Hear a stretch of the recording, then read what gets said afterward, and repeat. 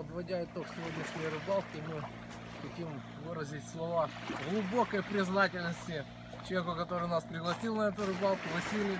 Василий, дайте пожму твою рыбацкую клешню. Спасибо огромное, получили большое удовольствие. Ну и чтобы долго не томить, покажу, что там на самом деле нам удалось. Ну, у каждого тут свой садок, покажу свой. Может, он не самый крупный из тех, которые были сегодня, но нам понравилось. Семья большая, поймите правильно. Вот, если подойти поближе и посмотреть, смотрите, какой красавец водится у нас в море. Но это же не рыба, это же прелесть. Да, это точно не воши. Красавчик, да? Ну, конечно, не знаю.